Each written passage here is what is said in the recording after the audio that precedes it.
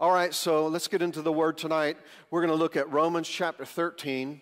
It's a foundational strip, uh, scripture, um, and we're talking about understanding spiritual authority. You have to understand that God is a God of structure, God is a God of authority. God is a God that places those that He chooses to be in authority. It doesn't mean uh, God values one above another. It just means that He's given uh, gifts and talents to individuals, both men and women, that, that, um, that He gives them to be able to help grow the church and, and fulfill the Great Commission.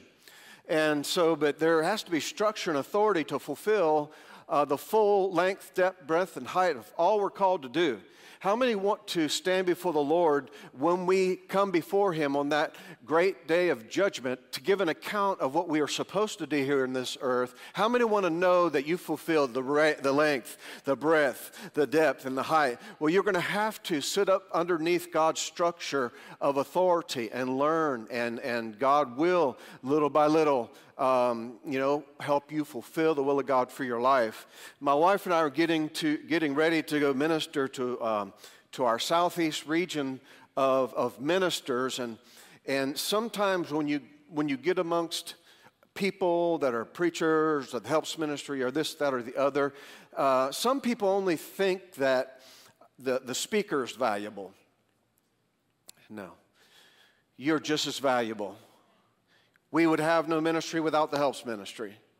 Anybody glad here tonight your youth are being ministered to right now at their point of need, not just with you know, a cultural event, but the Word of God and the presence of God and our kids and all the different things we offer here at, Harvest.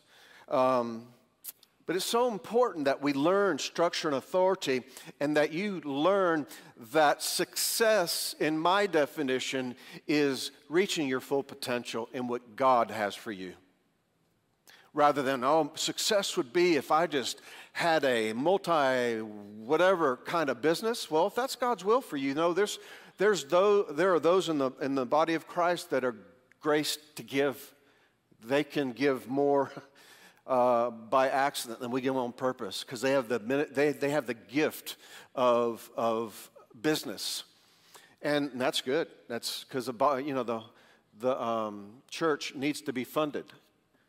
Anybody here like air conditioning? How many has your car, uh, how many of your air conditioning in your car is busted recently? And mine's a compressor. So, you know what? It might not be two months till you get it. My goodness, every time I get my car, I have a sauna going there and a sauna going there. I get a facial. All my pores are open. And, and anyway, that's not fun. But, um, Romans 13, 1 through 7, God's structure of authority, understanding spiritual authority. Let every person be loyally subject to governing civil authorities. You know, when, when, when you read a verse just like this, said, Let every person be loyally subject to the governing civil authorities, it doesn't mean you submit to them in things not in alignment with the Word of God. There is no such thing, say it with me, there's no such thing there's no such thing as unconditional submission to authority. The Holy Spirit and the Word and the Father, they all agree. So if you're telling me you've got direction by the Holy Spirit and you're violating the Word of God or it divides, it's not, a good, it's not good leadership when they divide. Good leaders unite. Good leaders bring together. Good leaders build morale. Good, good leaders help people fulfill their purpose. Go on, for there is no authority except from God by His permission, His sanction, and those that exist do so by God's appointment. So I, I want to just caution you because in leadership, we have to mention names sometimes. Uh, for instance, when, when a minister has gotten off doctrinally, we, we will sometimes have to mention them because they are so visible to the public, and we don't want, um, we got to protect the sheep. When, um, when there's times where, where the president or, or whoever, uh, um, Supreme Court, or, you know, just go down the line of those who are making decisions in authority that are not in alignment with the Word of God, we can't follow that. But we don't put our mouth against them in a derogatory, in a foul mouthed way because guess what? They might, not, they might not be the right person in position, but God sanctions that position. So to put your mouth against authority will get you in trouble. So around our house or in leadership meetings, I, I say this. I say this with fear and trembling, and I'm not saying this destructively, I'm saying this constructively, but I've got to point something out that I want you to be aware of that's not right.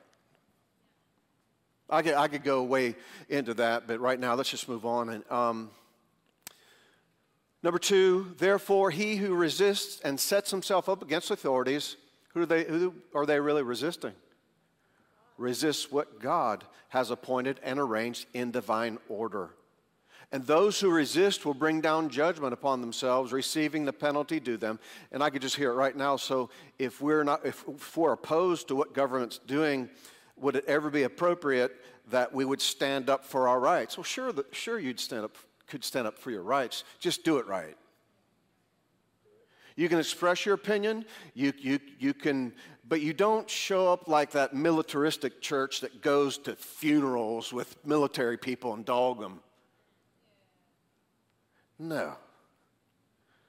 You, you, can, uh, you can resist or bring public um, pushback like Martin Luther King. Great example. So we can do it right, but watch how, watch how, watch how you put your mouth against authority. Because, you know, you can do it constructively rather than destructively. No sin. And those who resist will bring down judgment upon themselves, receiving the penalty due them. For civil authorities are not a terror to the people of good conduct, but to those of bad behavior. Would you have no dread of him who is in authority? Then do what's right. And you'll receive his approval and commendation. For he is God's servant for your good. But if you do wrong, you should dread him. Be afraid. I've said this before. No matter what, I could be going right 55, but if I see blue flashing lights, I still swallow deep. Come on, what? Am I doing something? Oh my. I, I, I have a healthy fear and respect for authority. And um, I, am studying for three messages. That's why I'm sort of a little bit all over the place tonight.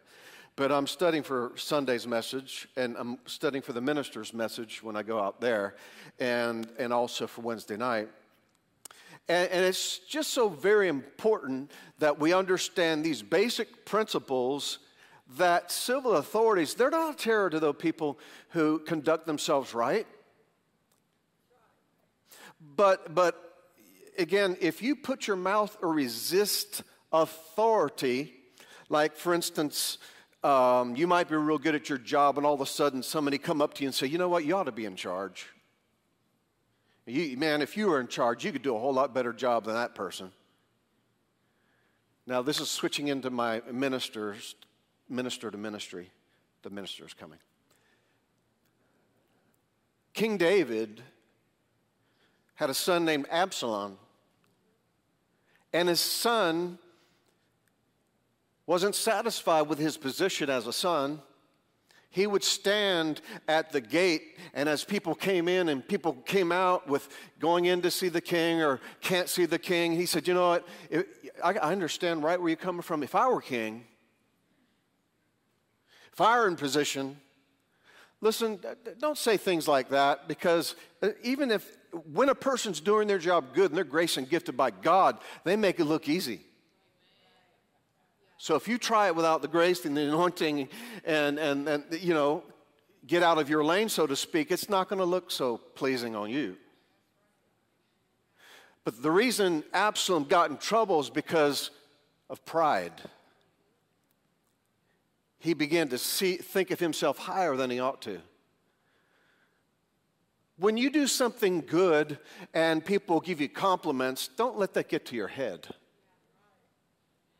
Don't say, oh no, all authority and honor to God. Don't, don't act like that. Say thank you. I mean, glory to God. Thank you. Don't be weird about it. But keep in, keep in the right mind frame that, uh, you know, um, thank you for that, but I'm not going to, I'm going to rely on God more the next time. All right. Verse 4 For he, authority, is God's servant for good, but if you do wrong, you should dread him. Be afraid, for he does not bear and wear the, so- the sword for nothing. He's God's servant to execute his wrath, punishment, vengeance on the wrongdoer. Therefore, one must be subject, not only to avoid God's wrath and escape punishment, but also as a matter of principle and for the sake of your conscience. You'll know you missed it when your conscience hurt you about that thing you just said about them, or a family member, or a church member, or, oh, man, you sing better than them. You ought to be up there on the praise team. I think you need to be in charge. When you hear stuff like that, don't entertain that kind of talking. No. Uh, you know, thank God we all have our place. How many want the presence of God stronger and stronger as the days get darker and darker? It's going to require unity. It's going to require one vision. It's going to require us all working together. Happy, happy to just be in our grace and our place, fulfilling our race and, and, and just uh, becoming the highest level that God ever intended us to be. Full potential. For the same reason you pay taxes. Oh, I had to, boy, it's just a positive, upbeat sermon tonight. For this same reason, come on now. Uh, you pay taxes for the civil authorities. They're official servants under God, devoting themselves to attending to the very service. Render all men their dues. Pay taxes to whom uh, taxes are due. Revenue to whom revenue is due. Respect to whom respect is due. Honor to whom honor is due. So God's kingdom is established on authority. We need to know about authority, learn how to respect authority, while making sure there is proper authority over them as well as over us. The dictionary definition, I'm just condensing some things here, says uh, authority is the power or right to do something, particularly to give or see orders that they be followed because they were delegated authority. You don't go and take over something if, if you didn't give, you weren't given that position or you weren't given that delegated authority over that area. Acts 20, 28 says, Take care be on guard for yourselves and the whole flock over whom Aunt Cindy uh, made you, uh, appointed you bishops. No, let God choose what you do. You know, your purpose, it's not hidden from you, it's hidden for you because God unveils it step by step, and it's going to take faith to walk it out every step of the way. If you're wondering ultimately what you are, God's not going to tell you. He'll show you the next step. I, have shared this story, it's worth repeating, with the Bible college. And, and uh, you know, there had to be some maturing in that group too, because I heard so much talk about, so what are you? Oh, I'm like Elijah. I have the double portion anointing. Elisha. And then, what are you? I'm a pastor. What are you? I'm a bishop. What are you? I'm a teacher. Uh, what are you? I'm like, I didn't even know what I was. So when I say serve your way to your destiny, it's because I've had to. I didn't care what I ultimately was going to be. I just wanted to fulfill the will of God for my life and stand before God, not having fulfilled your purpose, but my purpose.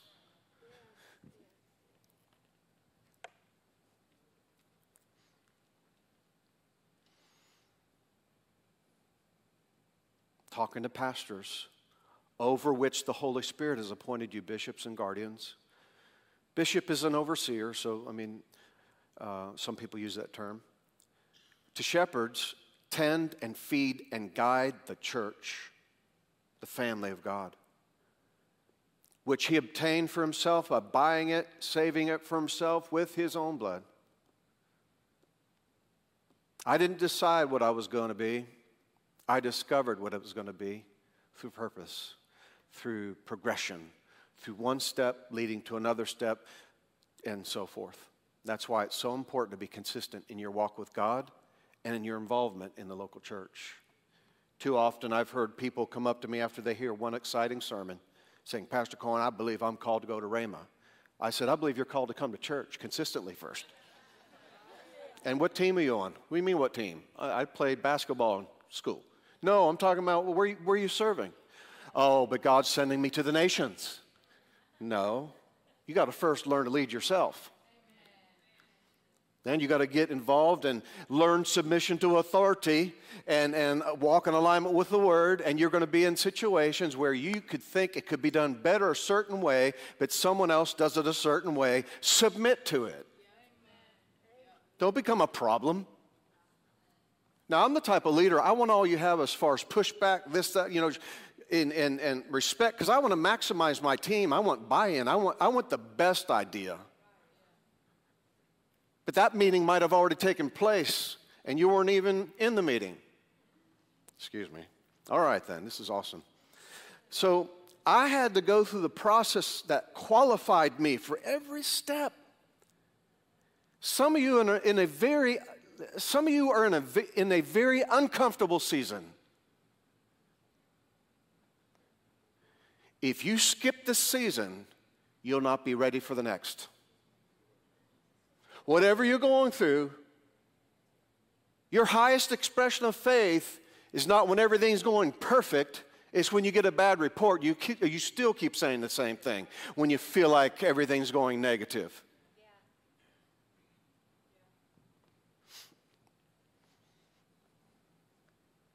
I don't get up here and try messages out on you. I come in here and, like dad, well, dad, I call dad Hash. Uh, uh, he said, listen, when I talk about bringing financial peace to you, is because I've worked these principles for a few decades now, and, and, and I'm, I don't say this for, for any, any other reason that someone's got to be an example. This church owes no person nothing. Glory to God. Now, God, God, I mean, we worked the principles though, and we could have done other things except eliminate debt. But we've still been able to do a lot of ministry while eliminating debt. And, and now um, we're able to do a bunch of cash flow projects. And, and, and also, I'm talking financial peace I'm like, because I'm debt free, personally. And this church has strong reserves, and so do I. Who's got a cricket thingy, cricket app? You know, go, cricket, cricket. And I'm wanting to get you there because you can. But you got to be willing to do what my wife and I did over the years, and she didn't put pressure on me. And we established a budget that we both going to work toward. I never hid anything from her. I would always talk to her about different things. So Folks, as I continue to gracefully go, grow older, I, I, will not, I will not be a weight on anybody, including the church, my wife and I. We won't.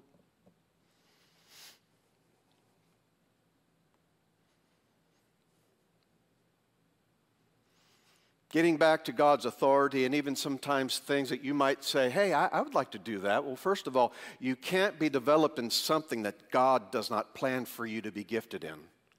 You can't do that. Now, John, you've got different giftings than I do, and you can do things I can't do. So your giftings, you know, help a portion of what we're called to do, and, and I'm different. I have different giftings than you have, and complementing. Now, think about all the church and people being happy with, with just starting with the basics and consistently serving, and all of a sudden, some, somebody might say, Lord, if they talk about volunteers for the children's ministry just one more time, it's going to get on my last nerve. well, that could be God calling you to volunteer. And guess what will happen? Sometimes what happens when people just volunteer, all of a sudden they, they fall in love and realize, I'm gifted in this area. I didn't realize serving was this good. It makes me feel this good. Jesus said, My meat is to do the will of my Father which is in heaven. He didn't say, My meat was to go to Ruth's Chris and have it, have it you know, the filet mignon. There's nourishment in doing the will of God. There's nourishment in serving. They're, they're just, you just not know, you're not going to know what that feels like until you just get in that place. And not only that, you'll gain community and you'll gain someone being in your uh, corner when you go through a battle. And, and, and you know, you look after each other.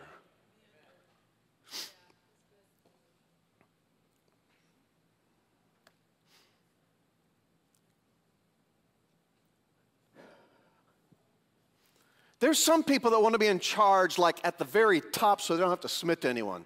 Well, that's not true.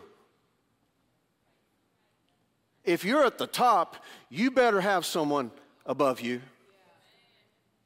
First of all, God the Father, God the Son, God the Holy Spirit, and, and uh, uh, uh for, for humor's sake, the Holy Spirit's twin, which is my wife, and she's got some wisdom and counsel I take heed to it. Some of you guys are getting mad because your wife's right. and instead of receiving,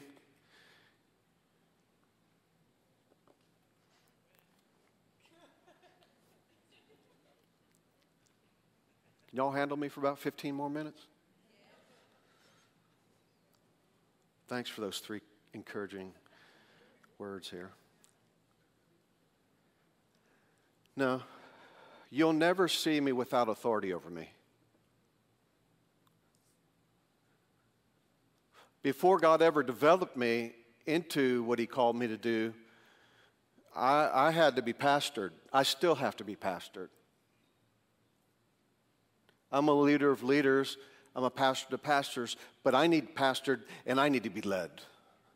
And I, I need, I need, man, you guys are getting like ver- three, three messages in one tonight. But here's the deal you should never grow old enough to not say, yes, ma'am, no, sir, yes, sir, yes, ma'am.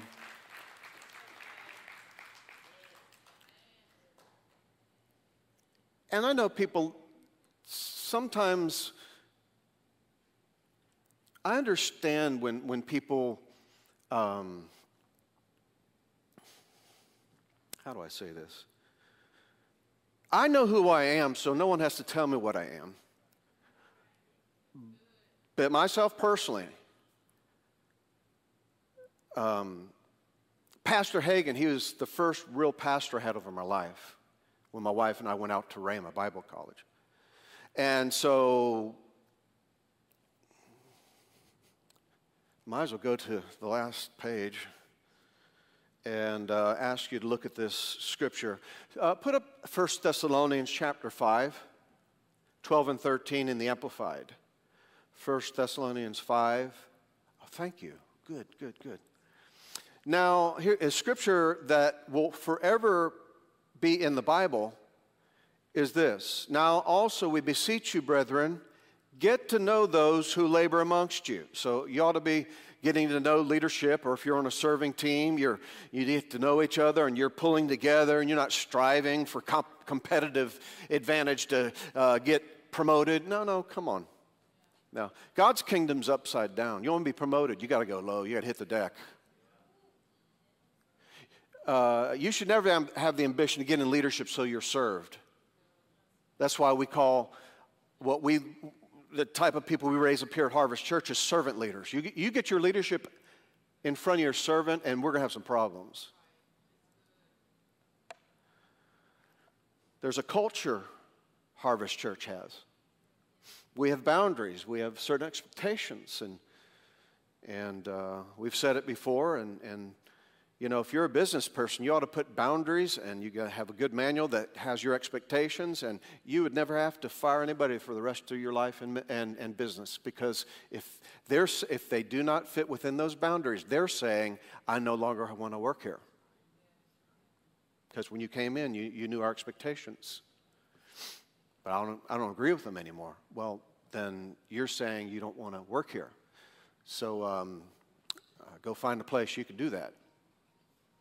Not trying to be mean. However, we maintain unity.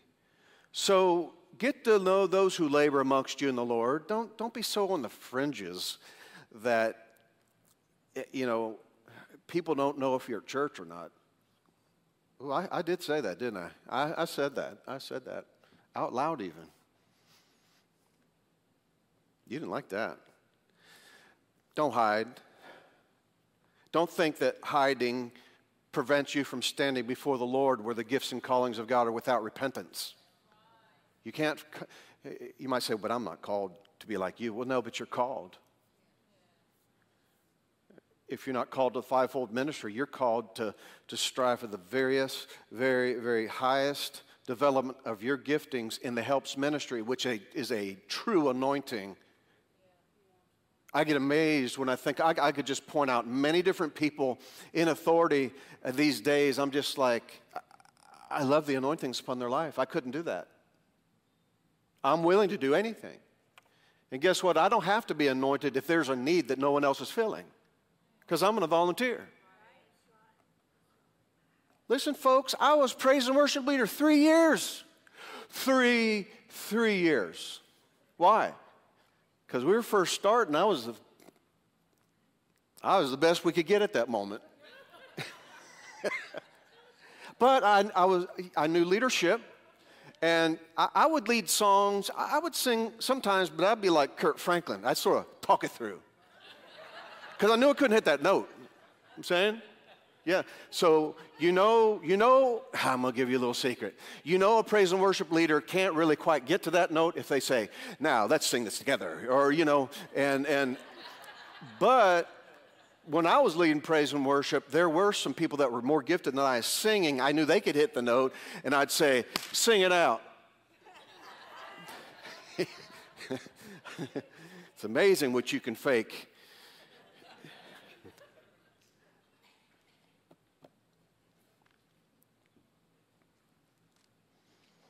God has a purpose for your life. And part of it is to be productive in the local church. If you've never heard that, you need a pastor over your life. And, and getting back to the scripture that has been so critical in my life, get to know those who labor among you, recognize them for uh, what they are, acknowledge and appreciate, respect them all. Don't be in com- competition with people. God, what God has for you is for you. Don't get intimidated when something good happens to someone else. Just know you're in the same line. Just do what you're supposed to do, and you, uh, you'll be blessed. And um, your leaders also get to know those who labor among you and know those who are your leaders who are what? You mean there's leaders supposed to be what? You mean I have to have leaders what?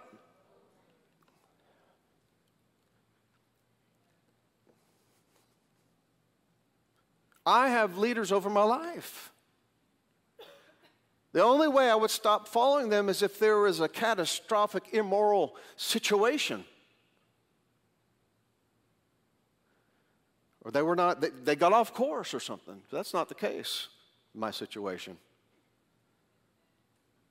God called my wife and I to, to Rhema Bible College and the mandate there and the training there and we've been f- nourishing those roots for 34 years. Tell the person next to you, you look good for your age. and then Bishop Passion Lady Joy, uh, they, you know, the good thing about our leaders, they're better privately than they are publicly. Did you hear what I just said? When you get close to your leader and you're like, what in the I don't like them. You know what's happening in those leaders' lives? If they don't correct themselves in the character issue, they're, they're, they're living off their gifting. They're surfing on their gift rather than the character can that withstand them over the, the time. This good work that God has begun in us, God wants to bring to full completion until the day of Jesus Christ. And that's going to take consistency. That's going to take, you know, again, a pastor's sort of like water. You, you, you, uh, you might not only like us because we're not really, well, I got some flavor, don't I? Anyway, uh, what, that, what that means, personality, right? That's all I meant. Uh, you might not want water, but you need us daily to survive. I need my leaders daily to survive. Get to know those who labor amongst you, and get to know what? Your leaders who are over you in the Lord. And it, it bears, bears worth repeating.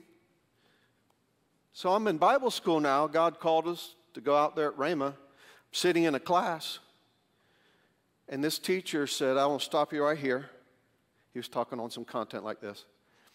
And on the count of three, I want you to answer this question as soon as I clap my hands. One, two, three. Who's over you in the Lord? yes, Lord. Okay. Um, you didn't say it out loud, but someone needs to come to your attention because because that divine connection is a, is a very important part of you fulfilling the will of God for your life. You have to be exposed to fivefold ministry gift and the anointing that'll teach you, and the association and the environment that'll shape you. And, and I was in that class, I couldn't answer that question. But it was easy once I said, Well, who, who, who would be with me in the Lord? Well, at Rhema Bible College, we also had Rhema Bible Church. And to stay in alignment with that vision, I'm going to, you know, Pastor Hagin was, was our pastor for about three years. And still in, in leadership over our life, uh, Bishop, uh, God sent us to Bishop Hash and Lady Joy, and, and I feel like I'm getting in trouble tonight, but might as well go deeper. I think, I know it doesn't work in all cases, but I like the fact that Bishop Hash can get a hold of my wife and I physically. We can go see them. We can go and talk with them. I like that. Because long distance pastoring, I, I, you know, I'm speaking on my own, like Paul said sometimes, but he also did say, I think I'm speaking by the Spirit of God. All right then. Um, get, those, get to know those who labor uh, among you and, and your leaders who are over you in the Lord. Guess what they do?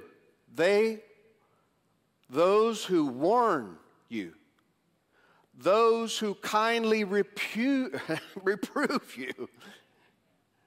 Isn't that wonderful?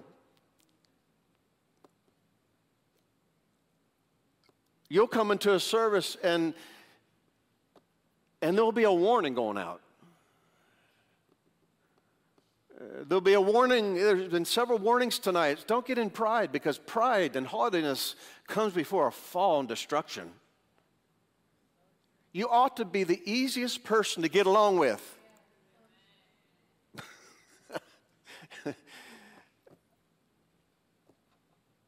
you should.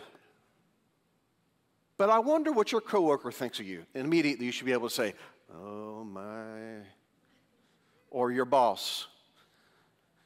Listen, someday you you, you might be someone else's boss, but guess what you're going to reap? How you treated your boss. Isn't that good? What's this section over here think about tonight? You, y'all ready to leave? You, a little bit more can handle it? All right, thank you, thank you. And by the way, you're not supposed to follow every minister because you'll be confused. I'm not saying there are, there are all kinds of good ministers. but I feed from where I've been rooted and set. God made choice where I was set in the body of Christ. It wasn't my choice. So I feed from them very consistently. And I've seen people get away where God set them, stop feeding, and they're the most miserable people today. Remember those days where you were just at your, just full of joy and, and, and just hungry for the word, and you were set there amongst a, a group of people you knew you were in the will of God. When you heard the word, you were excited. When, when we've, we've had some Holy Spirit days around here where there's been shouting, even dancing and rejoicing, you're in that environment, and you know, you don't know, but yokes are being destroyed, burdens are being removed. And God's delivering some goods there because the will of God is the Word of God. That's the will of God. The Holy Spirit is the delivery of what the Word says. So sometimes we need, you know, times of refreshing in His presence. So you see here that a pastor warns you. A, a good pastor doesn't fear the people they lead, otherwise, they forfeit the right to lead them. That means you can't be a people pleaser. I, I want everybody to love me. I mean, I am just so lovable. I, I mean, I'm just so. Um, I'm just a great guy. And uh, oh, sorry about that. I see some looks I'm getting. Um, but I'm not afraid of you. Well, um, I've been threatened before. I'm, I'm just going to take my tithe out here. And I, you know what I tithe. You know what I tithe. I said, first of all, I don't. Because I don't want to be respectful of persons. Like, if I knew what some people tithe and all of a sudden they looked like they had an upset stomach in the service, I'm like, oh God, what did I just say? Mm-mm.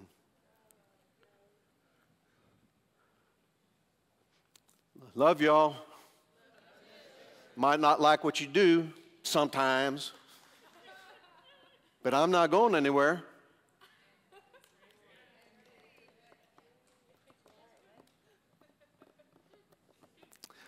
My daughter's the only one clapping. I love that. I love it. Love it. So when you go to Scripture and you realize people in authority over us that are good, godly character, they've been through stuff, they're teaching you revelation of how they've overcome, and, and, and we feed you what we're feeding on, and, and, and we can't come with one favorite message that everybody's passing out over in the, the entertainment church. Uh, but then when everything's settled, um, if, if you're not pastored, you're, gonna, you're not going to have good character. You're going you're going to stunt your growth. Wow, I'm really exalting the pastoral office today. Well, the thing about it is, I've been under a pastor for the past 34 years. You, you can't just have your own Bible study and develop into the full will of God for your life. You have to be under the pastoral ministry they help develop you. They, they instruct you. And again, the local churches are like, you know, really big family. And so sometimes there's, there's different tones about a service. There's different things that are taught and in variety. But, but if you just like one message, you're going to think that pastor doesn't have it that day because I taught you about tithing. You're like, I'm not running about tithing. I'm, going, I'm not going to run a victory lap about tithing. But oh, you want the sweet Spirit of God to move. Move, Holy Spirit, move. Well, He's telling you move. Would you move? Why don't you move? I've been in services before. I didn't feel a thing, but I saw my leader do something. I, and I did whatever my leaders. And before, before long, I mean, you'll know when it's a sense of the Holy Spirit is, is when the congregational, the congregation will, you know, participate in, in the vast majority. There's going to be some that are not quite uh, in, developed that, not developed, have been exposed to. But then if there's just somebody making all kinds of clanging and shouting and screaming and, and, and no one else is going with it, someone's just, you know, got a little excited and I might have gotten the flesh. It's okay. We have people to deal with you. I'm just kidding. We just have someone come over there and, and calm you down. what? Oh, yeah, we got some harvest bouncers in here. There's some ladies in here. Man, I'm going to act decently in order. Don't want them coming after me. A little bit humorous tonight, but I hope, you know, you're able to digest this message because, again, let me conclude this. know those who labor among you, also know the leaders who are over you in the Lord, because they warn you they kindly reprove you and they exhort you. And then hold them in very high esteem and affection, uh, intelligent and sympathetic appreciation of their work, and, and be at peace among yourself. When, when there's good leadership, there's, there's nothing like that peace. If there's a vacuum for leaders, if there's, then that's when people start contending and start striving for positions. And you know, if they're not good enough leaders to, to step in the middle of that and, and say, no, we're not going to do this, no. Because I want to come to a place that God wants to come to. I know He's in us. But I want him to enjoy to come to Harvest Church on Wednesday nights and Sundays and our outreaches and wherever we go. God's big on spiritual authority. He is. And, and it's not just talking about the pastor, it's like, uh, uh, how, how, do, how do you respect the police these days? I'm not saying the fringe, terrible ones, but there's a whole mass that's good. Don't get caught up in the fringe of the bad white, the bad black, the bad whatever color, because the majority, they're just downright good people. But those pundits, and even you get ministers on the TV creating schisms and division, that is not good leadership. Latina, I told her I wasn't going to give her credit anymore for it. She said, We we have freedom of speech, but we don't have freedom to divide. So the next time you're getting ready to say a, send a Facebook post out there or Instagram or whatever, think about the consequences, the end result of what this could do to the body. I've had people walk away from me because I wasn't political enough. I've had people walk away from me because I was too political. I've never been political. I said, you know, just find the Word of God and see what lines up. Vote your conscience, and I won't tell you to vote for. I've had ministers come at us saying, just, I mean, literally almost make me say I'm going to go to hell because I don't get real political. Well, this is, I might have a different church than you do. This church has every race, every culture, every age. And if I was going to get politically one sided, what would that do to this church? It would polarize the harvest rather than win and develop the harvest, populate heaven.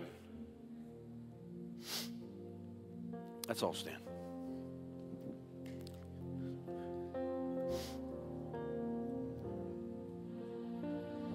So I know I just sort of share with you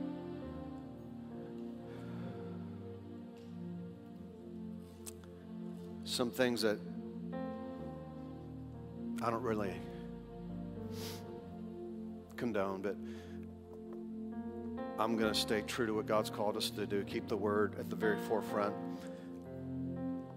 And if you want to come to this church and get that new, fresh revelation of something you've never heard before, you're not going to hear it. There's nothing new under the sun, the word says. However, your level of development and God's fresh revelation, giving you more understanding into the basic principles, is what we want. You see people darting from meeting to meeting to meeting to, to just get, get supercharged and, And, and I, get, I get concerned about the younger generation who really likes, uh, well, let me say it like this because I've talked with the next generation and they say, you know what, that, this generation's getting tired of that now. They want the authentic and they want the real. Because you can only live on candy for how long? Oh, Lord, he's talking about my way I eat candy now. No, I'm talking about if you just live off of hype or, or motivational speaking and there's no depth of the word or moving of the spirit, when, when, the, when the storms come, it's can be tough. Storms and challenges come to all of us, and get ready for the next one because it's coming. I rebuke that. I don't receive that in Jesus' name. How many scriptures you want me to give you before you believe that? Why would God say, and this is the victory that overcomes the world, even our faith? Why would He say that overcome? Because we're going to be overcoming. Stop saying, I don't understand why I'm going through this. You're overcoming. What did I do to deserve this? You're overcoming. Now, there's how many have ever made bad decisions, and you are the only, you're the person that made yourself in that situation. I, listen, we all are there, but a lot of times when we grow and develop, you, you know, this is a victory that overcomes the world. Even what? He's called us to be more than. He's called you a conqueror. What does that mean? you don't even say it. You're going to be conquering some stuff, but He's going to help you. Father, thank you for the word tonight. Thank you for helping us. God, I repent if I've ever stepped over bounds or not acted appropriately as far as what you called us to do. Or, Father, I just rededicate my life to your calling for me. Father, thank you for it. If we've committed any sin of commission or omission, forgive us. Remind us of things you, you wanted us to do and we haven't done yet. Have mercy on us. Refill us with your Holy Spirit, Father. Grant us grace that we can move forward and apply our greatest takeaways from tonight. In Jesus' name. Every head bowed, eyes closed. If anybody here today, tonight, I was going to dismiss, but if you um, were to die today, do you know you go to heaven? Are you for sure? If you're not sure and you'd like to receive Jesus as your personal Lord and Savior, He's the only way to heaven. Like Hannah and the team sang tonight, He's the way, the truth, and the life. No man can get to the Father except through Jesus. But the Word of God says you need to receive Him as your Savior and declare Him as your Lord. Uh, take a look at me right now. And I want some input right now. What does it mean for Jesus to be Lord? Maybe I can rephrase a question. Do we really have a choice in where we're supposed to live if Jesus is Lord? Do we really have a choice of what church we go to if Jesus is Lord? Are we supposed to take another job before we find out if they ever even have a church? I've seen people backslide because they went and took a promotion over where God wanted them in the will of God just for a dollar. That God wants to promote you and He will. He'll take care of you.